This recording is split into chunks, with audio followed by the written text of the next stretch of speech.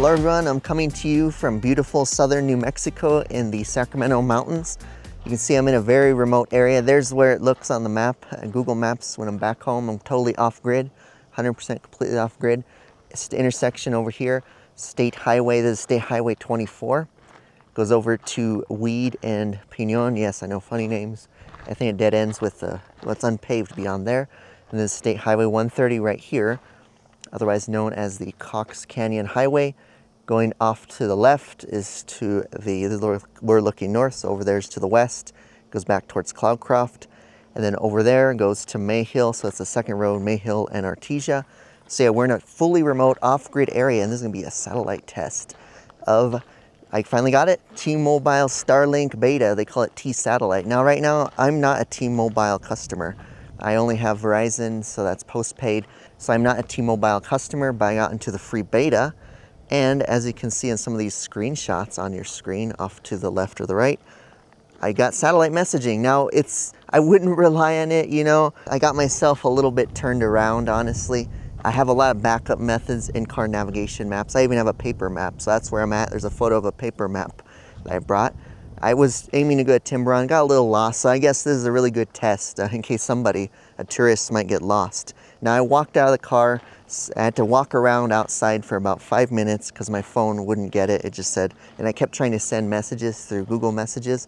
Um, and that's just because the networks don't want to fall back. They want to fall back to satellite as a last resort. You know, they don't want you to use their expensive satellite network if the signal's a little low. So you have to have no signal of any kind really for more than five minutes. And unfortunately, Verizon didn't connect at all. I guess the Skylo service isn't available here, but T-Mobile Starlink is. So right now, you can see some screenshots.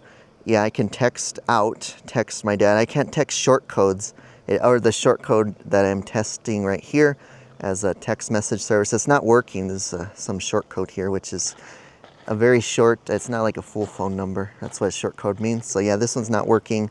And trying to text back this uh, T-Mobile number, uh, 326, like a service number, they don't accept incoming text. It's like a one-way text system. So yeah, that's not working. But otherwise, yeah, you can text people. So this is good. Say you're broken down here. You could text a friend or whatever and they can get the, on the internet, you know, because you don't want to uh, bother emergency services. You don't want to call 911 just because, you know, you're out of gas or flat tire or something that's not life-threatening. So you can do that. And obviously, you know, I would highly recommend if you're going out in these remote areas to carry a dedicated satellite device with you. Uh, pay for Starlink or any of those like personal locator beacons, any of those devices if you're going to be out and about. But that's not good for my use case. I generally stick in my vehicle. So it's really good and always have more backup methods. Just like I said, um, if you're going off grid, you know, you need to take a paper map, download your offline map, something like that, just so for redundancy. But I'd say that's a successful test of the system. It'll improve later on. They'll probably get data next, so it's only text messages only. And since I, the T-Satellite with paying zero dollars, um, I can only send text messages. And I don't have the funds right now, but hey, if you want to donate to my Ko-Fi link shown right there on the screen, ko-fi.com slash artiepenguin1, if I can get up to uh, $150 in donations, I will sign up for one month of T-Mobile service and test the Starlink. If you want to see that, go ahead and contribute down below. Links in the description or the pinned comment.